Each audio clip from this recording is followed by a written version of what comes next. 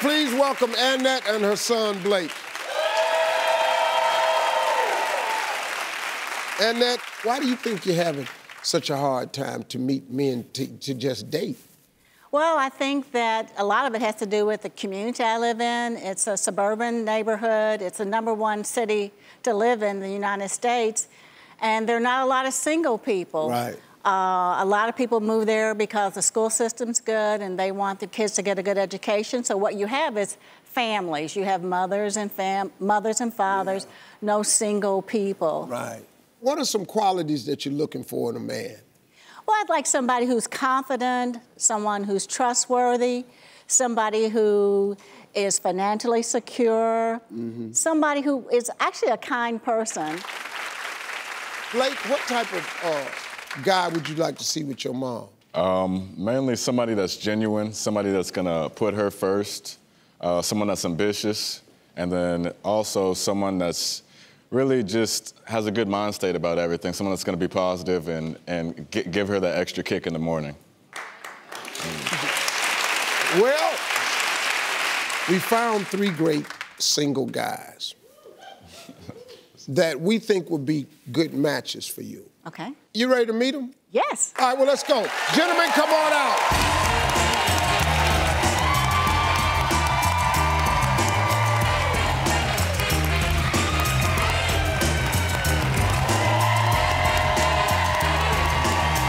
All right, everybody.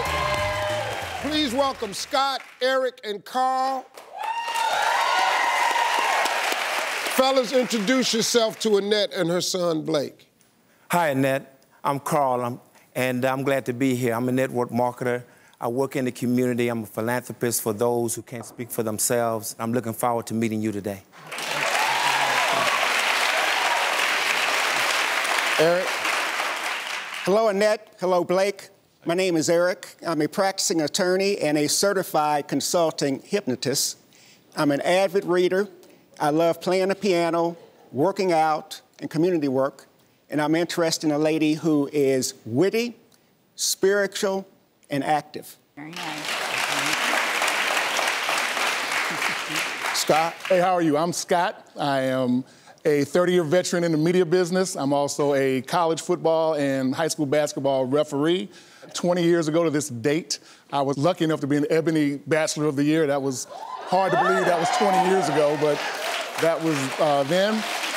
And I'm really kind of looking for somebody to take to the next level with me in this last quarter, fourth quarter of life.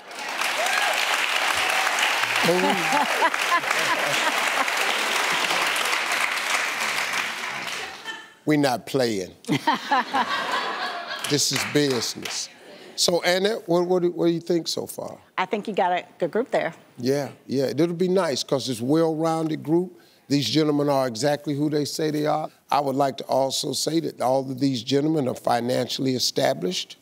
They're not looking for no help, but they got plenty if you need it.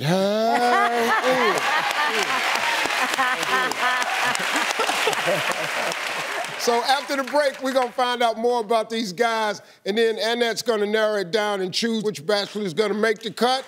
We're gonna find out when we come back, everybody.